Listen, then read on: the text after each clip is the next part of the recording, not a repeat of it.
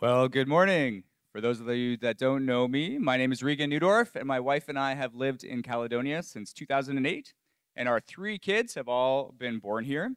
And what's special about Caledonia for me, as I was thinking about since we've lived here, is it's the longest I've ever lived in one place. Anybody else? The longest you've ever lived in Caledonia or where you live right now? Anybody else? The longest you've ever lived. Okay? So, on top of that, this is the longest I've ever been a part of a church family like this. So, it's an honor and privilege to be able to speak to you here today. And speaking of our Gateway Church family, as Dave mentioned earlier today, today is our intergenerational service.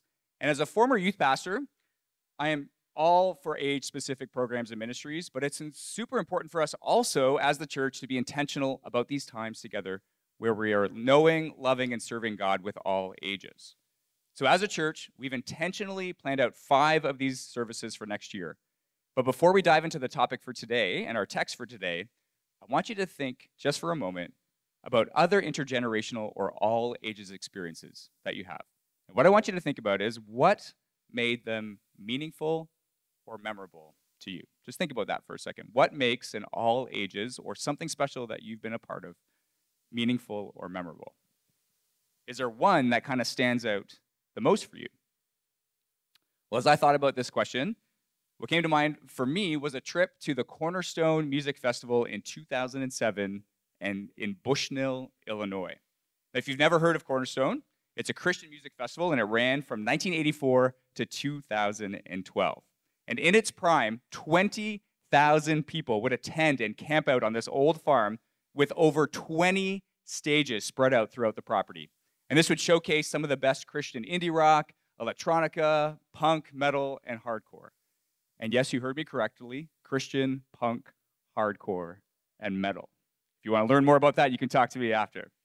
So, I've been to this festival two other times, one time before this and one time after. But what was so special about this one is that my wife, Lindsay, and I, we were able to go with my brother and my sister in law, their two kids, who at the time were two and five, around there, and my parents, these two kids' grandparents. So, during the week, there are things for kids. There's all these different activities, there's different workshops and countless bands to choose from. And there was always something for somebody to look forward to. There was also bands like Switchfoot that everybody could go and enjoy together. Any Switchfoot fans out there? Anybody? I see that hand. All right. So, these are such good memories. But what I remember the most is the sacrifice that my parents made to be there with us. So, first, my parents are not campers, and this is the one and only time in their adult lives that they chose to go camping at a music festival with 20,000 other people. Second, they chose to go camping with us at this music festival where bands were playing nonstop from 11 a.m. to 2:30 a.m. every day during a long, very hot summer. There's certain times I would look over to my parents and I would just be like, "Oh my goodness, what have I done? Are they going to make it?" And then I would ask my brother, "Maybe this was a bad idea." But for my parents, no matter what they were experiencing, all I ever heard was this was the best idea. And why? Because they were just so glad that we could be together. And like I said, there was something for everyone, but what made it most memorable was that my parents didn't go to just get what they wanted out of this week, but rather they gave up. They gave of themselves to be there. And you know what Jesus says? There is no greater love than this than to lay down one's life for their friends. Gateway, this is what makes all ages experiences so amazing. As we think about these intergenerational services throughout the year, let's all agree to do this right now, to make them memorable and meaningful for everyone. Don't think to yourself, what am I going to get out of today? But instead ask God, what can I give to you and others this week at church? Jesus also said, It is more blessed to give than to receive. And this is one of the ways that we can tell that someone is actually walking with God, because walking with God changes everything about us. Amen? And at our last intergenerational service, Pastor Sean spoke on this, and we learned that when we walk with God, we become more loving, we become more joyful, more peaceful, we grow in patience, kindness, goodness, faithfulness, gentleness, and self control. And this is the same for all of us. No matter what age we are, following Jesus will result in these good things. But how we walk with God during that time may look different from person to person or from age to age. And why is this? Well, because God loves us all equally, but He's created us all uniquely. And there are ways that He reveals Himself and shows His love to all of us, but there are also unique ways that He speaks to each of us individually. Gary Thomas, in his book Sacred Pathways, he says this. He says that God created you with a certain personality and a certain spiritual temperament. God wants your worship according to the way He made you. Now, a good way to think about this and to understand this, if we try to learn about our Heavenly Father, we can see examples of this in our earthly parents. So let's think about a parent who has multiple kids. So one kid might be competitive and active, while the other kid might be quiet and like to read. Okay?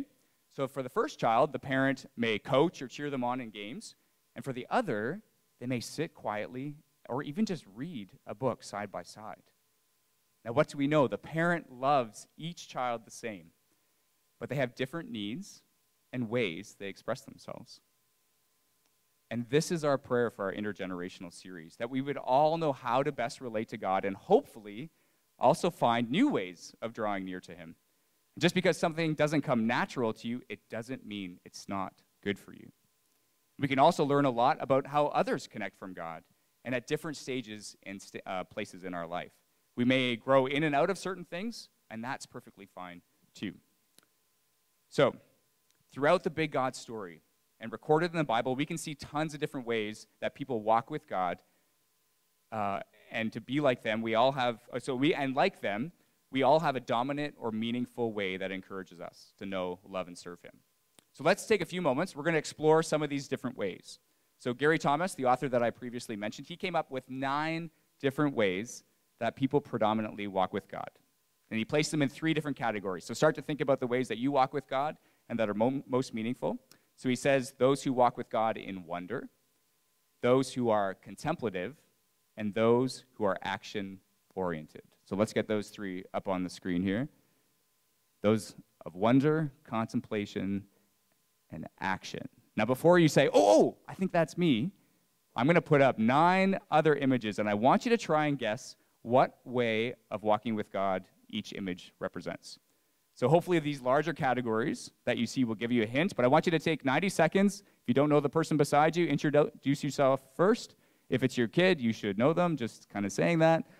But let's spend a few moments. Think about what these pictures represent and how do they speak to a unique way of walking with God. And then later we'll go through them, okay? So 90 seconds. Here we go. You're allowed to talk to each other. Feel free. You don't have to whisper either. Go ahead.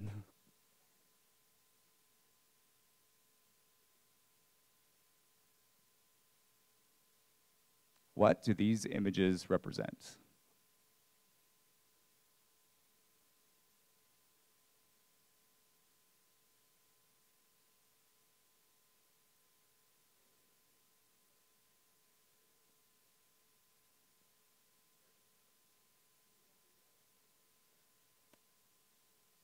If you're hogging the conversation, please give the other person a chance to speak.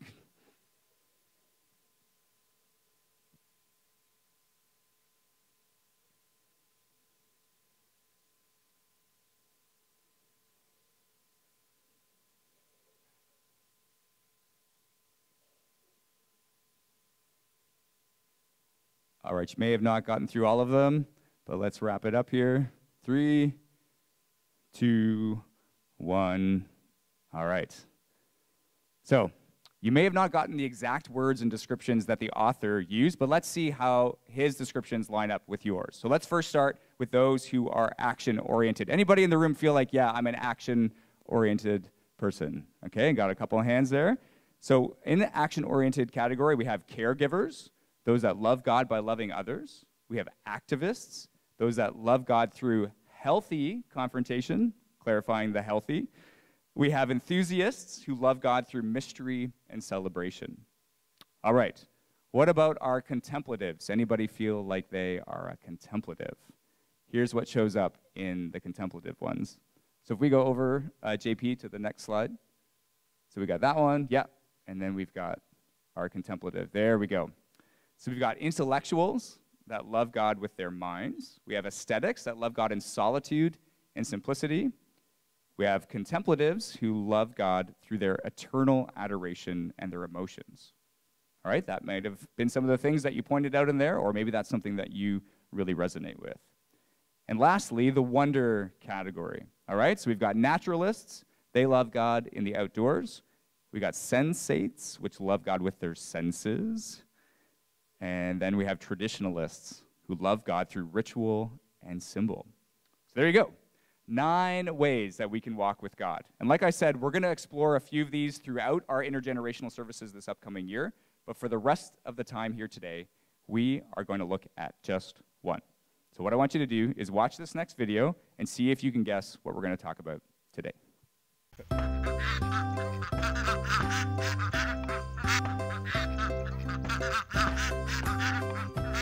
Hi guys, I love being outside with my animals. It makes me think of God's creation, like this snow guy. This, his name is Thunder. We watched him hatch from an egg. This guy's a chicken, and he's a small breed, and he's a Silkie. Hope you're spending some time outside in God's creation too. Bye.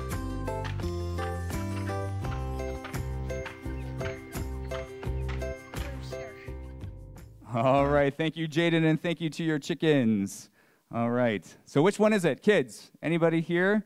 Anybody have an idea? What's the unique way that Jaden walks with God? Right here? What do you think? In wonder, yes. And then what's the specific action it says up on the screen? Oh, let's go back. One there. We'll get to there, JP. There. So, Jaden is a naturalist, okay? And among other things, but Jaden is uniquely wired to love God in and with creation. So, what about you? Do you have meaningful times walking with God in creation? Or maybe you are unsure. Maybe you're outside, but you don't know what actually is happening there. Is that actually time with God? So, whether you do or don't know, let's do a quick survey. And I want you to raise your hand if you feel closest to God when you're surrounded by things like mountains, forests, or lakes. You feel closest to God when you're like that. All right, keep your hand up. Or join these people that have their hands raised if you feel cut off from God if you have to spend too much time indoors. Maybe a sermon or singing a song is not enough. We won't tell Steve, don't worry. You need to be outdoors, okay? Maybe if that's you, raise your hand. Or how about seeing God's beauty in nature? Is this more meaningful than things like just understanding new concepts, participating in a group, or being a part of a social cause? If that's you, raise your hand. Now, you might have some of these other things too, but this would be your primary way. Okay, so you can put your hand down. If you raised or lowered your hand at any point, you are most likely a naturalist or growing in this way of interacting with God through creation. However, if this isn't one of your primary ways to walk with God, and you see the outdoors as something rather to escape from than into, it doesn't mean you can check out right now, okay? So let's stay focused on this together. So, why is that? Well, first, we can learn a lot about God and others from how they uniquely experience God and love and express it back to Him. And even if you hate being outdoors or you just see it as something to consume or for recreation, the truth is, God is still revealing Himself to you through creation. A message that God reveals to all of us, to all of His creation, is actually called a general revelation. And this is what God does through creation. It continually points back to his creator, revealing truths about him. So Romans 1:20 says this: For since the creation of the world, God's invisible qualities, his eternal power and divine nature have been clearly seen, been understood from what has been made, so that people are without excuse. And in Psalm 19, King David, a man who obviously walked with God and was moved by his creation, he wrote this The heavens declare the glory of God, the skies proclaim the work of his hands. Day after day they pour forth speech, night after night they reveal knowledge. They have no speech, they use no words, no sound is heard from them. Yet their voice goes out into all the earth, their words to the ends of the world. Because of creation's amazing ability to point to God as our creator, the Bible says we don't have an excuse and need to work actually really hard to not know him through creation. And every time we look up to the sky, either in the day or the night, we receive wordless but powerful messages of God's greatness and glory.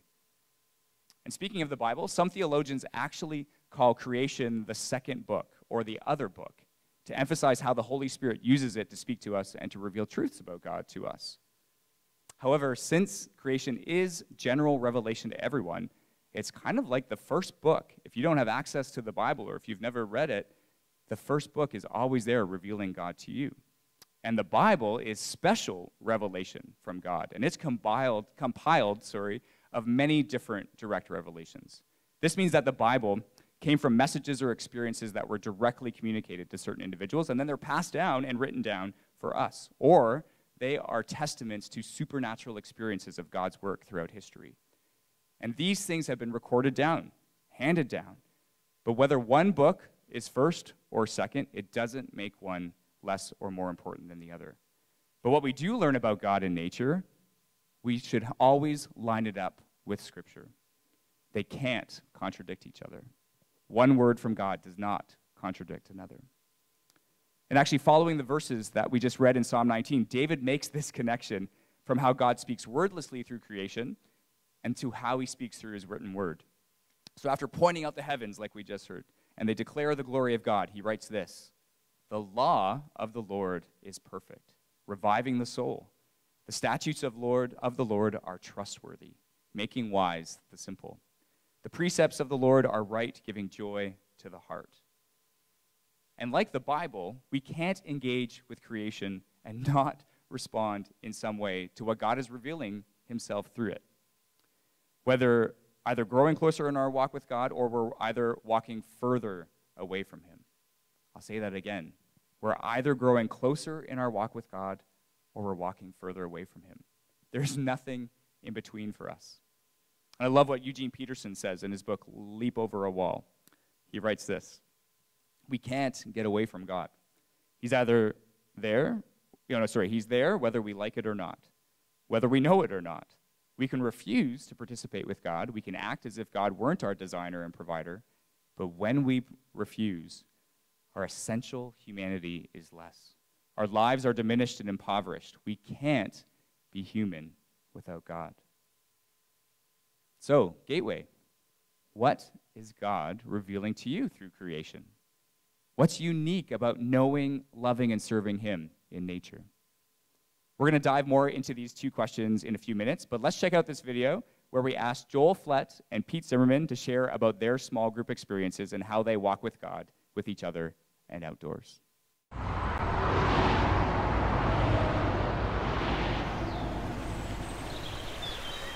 Uh, we started meeting up as a small group about six years ago. It was a good time to just connect with some other guys who had young families, and we started meeting up at McDonald's. Then COVID came along, and we met on Zoom, and wasn't as good. Um, then after that, we um, started coming over to the trail when we could just meet up outside, and found that that was a really beneficial place to meet up because when we get outside, everyone's stress level comes down a bit. We're enjoying the sunrises often. Even if it's raining, we'll still come out and uh, we've met up in the snow few times. It's, it's been great, even in good and bad weather. That's a lot. Yeah. Oh, yeah. wow. I mean, you hear about it in culture, but it's just not something. Having an opportunity to connect, sometimes it was at McDonald's, sometimes at Tim Hortons, uh, but it seems like our fallback often has been coming back to the trail. And so anytime weather permits, we're happy to get out and just enjoy a nice uh, quiet morning together before our uh, busy work days begin. So that's kind of been a real blessing and encouragement for all of us, I would say. Usually midweek uh, will send out uh, a message, perhaps put forward a little devotional or a scripture reading. We get down to the trail bright and early on Friday morning, 6.30. When you're here, you know where you're, you're supposed to be. It's a good chance for us to just kind of walk, talk, connect, read and go through the devotion and scripture, stuff that stuck out to us from those passages, and then also to take time at the end of uh, our session together just to gather riverside and pray for one another, share concerns and trials that we're having in our lives. I find that when we connect here at the trail, it's just a place to kind of slow yourself down a little bit. There's a quote I read once in a book, uh, it's only when we slow our lives down that we have a chance to catch up to God. And that one's always stuck with me. Just being surrounded by His creation, the beauty of His nature and everything, and uh, it, it provides a good environment, I would say, to connect with each other, to clear your mind, to hear what God has to say to you, and to be able to pray for others as well.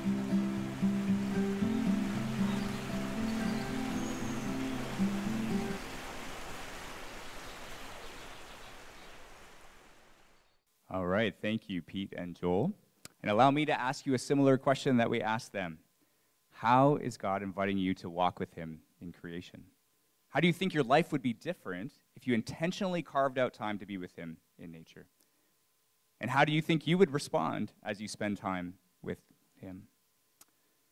Well, like I said, that's going to look different for all of us, but there are some pretty common ways that people tend to respond to God in meaningful ways through creation. And if you're not natural at being a naturalist, but feel like you're in a rut spiritually or having a hard time hearing God's voice, I recommend, I recommend trying these three responses as conversation starters as you walk with God in nature. So, first, we can respond in awe and simply say, Wow, this is amazing. And God, you are amazing. Then we can actually study what we're experiencing and ask God, how is this possible right now? Or why? And lastly, we can look for meaning. What does this mean, God? What we're experiencing together, what we're seeing? How do the changes of the seasons or a beautiful sunset tell us more about you? God, what are you saying to me through a brisk fall day or a crazy thunderstorm? Actually, we can see these three responses in another psalm that King David wrote. And in Psalm 8, we also get another glimpse of his ability to connect with God in nature. However, we also see this strong contemplative side of David. So you may say, hey, I am really engaging with God well in nature, but there are other parts and other practices that I love, and that's wonderful. However, we also see with David um, what this means and how come it's so spiritually impactful for him. So there's so much meaning that comes in this psalm. So if you have your Bibles with you, either in print or electronically, and if you didn't bring one and you want one, you can just raise your hand and our connecting team can get that to you. So we're going to be going to Psalm 8, Psalm 8, and that's in page 773 in those blue Bibles. And on your own, if you uh, open your Bible up to the middle, you'll get as close to Psalm as possible. And kids, if you're looking for, look for the big eight. Those are the chapter numbers, and we're going to start in verse 1. So Psalm 8, page 773.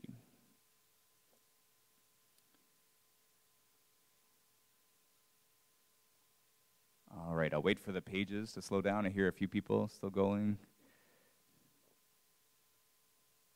Okay. It'll also be up on the screen, but I encourage you to read along in the text in front of you. So David writes Lord, our Lord, how majestic is your name in all the earth. You have set your glory in the heavens. Through the praise of children and infants, you have established a stronghold against your enemies to silence the foe and the avenger. When I consider your heavens, the work of your fingers, the moon and the stars which you have set in place, what is mankind that you are mindful of them? Human beings that you care for them. You have made them a little lower than the angels and crowned them with glory and honor.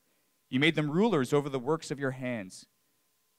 You put everything under their feet all flocks and herds and the animals of the wild, the birds in the sky and the fish in the sea, all that swim the paths of the seas.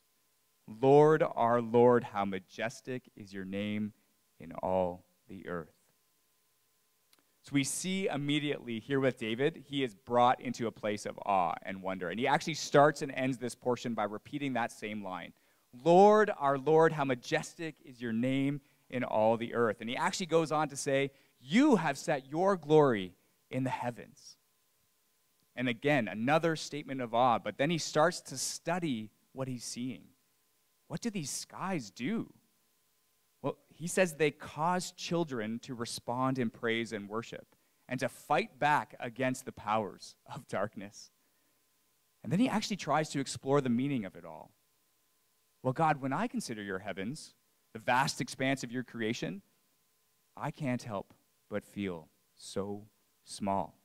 Why do you love us, Lord? Why do you care? Now, in this moment, I don't know if David heard like a specific word from God or saw an image or just had a feeling, but it seems like as he's gazing up in the sky and asking God these questions, he gets a direct response from God. Because when he's feeling small and insignificant, all of a sudden he's encouraged and lifted up and he exclaims, God, you created us with love and purpose. You made us lower than just you and the angels. God, we have meaning because of you. We are your creation. But we're just not any part of creation. We've been set apart as humans and been given a special responsibility to care for all the earth and everything in it. wow. God revealed all of this to David just because he looked up into the sky. So, friends, when you're in creation, what do you think God wants to say to you? Now, you may not be inspired like David to write a song, but why don't we spend some time reflecting on God's creation in this moment and allow God to speak to us through a few images of our beautiful Canadian landscape, which He's not only given to us to enjoy, but He's given us a responsibility to care for it. So while we're watching this, the band is going to start to play. Allow the images just to be a conversation starter with God, and then we will go into a, a time of worship. But for a true naturalist, you may be looking at this, and every landscape you see now may be torture for you. You just may be like, man, I just want to go there. But we know that wherever we're at, we all can respond to God in awe and reflect on what this actually tells us about God and ourselves. So feel free to respond as you see fit, stand, pray, sing. But if you need some help getting to that place of awe and what words to say, we'll be singing the song, How Great Thou Art, and the lyrics will be up on the screen. So allow these words to stir in your heart a sense of awe and wonder. Now, before we start, we're going to just read these words adapted from Psalm 8, one together. So I'm going to put these up on the screen and let's all read this together. Lord, our Lord, how majestic is your name in all of Canada. Amen.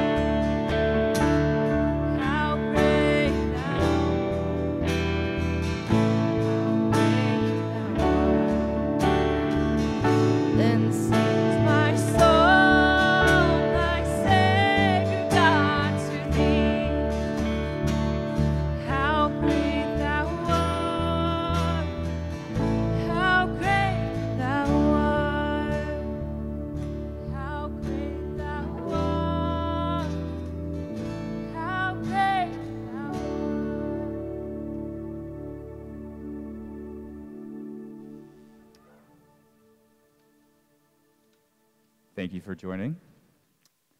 Remember in Psalm 19, when David was inspired by gazing up into the sky and his awe of God's glory. This wordless and speechless general revelation that he receives causes him to study and reflect on God's special revelation, his spoken and written word.